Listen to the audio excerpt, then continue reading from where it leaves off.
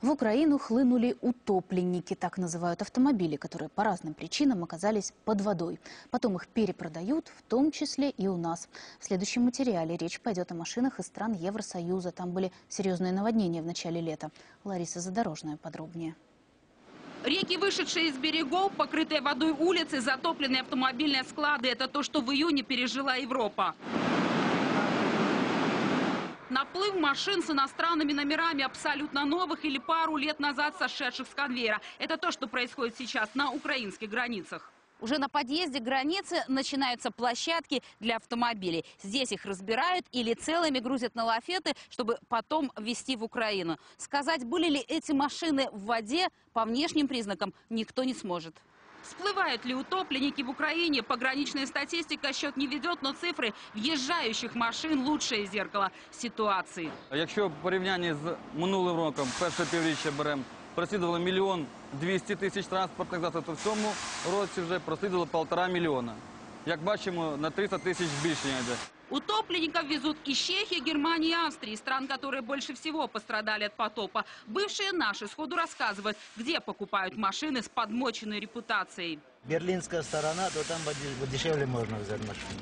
Схема проста. Салон отдает автомобили страховой компании, с ней договариваются перекупщики. С паспортом уже немецким, а менталитетом еще славянским. Давайте мы у вас выкупим эти автомобили по полторы тысячи евро за штучку. Страховая компания с условием соглашается. Единственное, что она продает по договору, это не как автомобили, а как э, так называемый материал для утилизации. Львовский рынок 100 километров от границы. Некоторые машины покупатели обходят стороной. Вот смотрите номера, какие приезжают.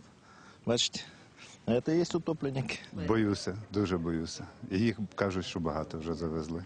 Директор рынка показывает самое выгодное для серой продажи. Ми говоримо про вантажні маленькі автомобілі, які переобладнуються пі- під легкові. Автомобили с горькой судьбой там покупают задешево, а тут продают задорого. Бизнес хоть и нечестный, зато выгодный. Кількарічна Audi А6 може коштувати 3-4 тисячі марок. Воно би обходилося тут, скажімо, тисяч 15 доларів. Свежее из Германии словно торгуют продуктами. Никто не признается, что товар залежавшийся, да еще и подмоченный. Краще брати чесні машини, і тоді тебе поважають і не наб'ють морду. Умельцы утопленников подсушат, подмажут то, что машина долго плавала, трудно увидеть, зато сразу услышишь. Опытные мастера дают советы.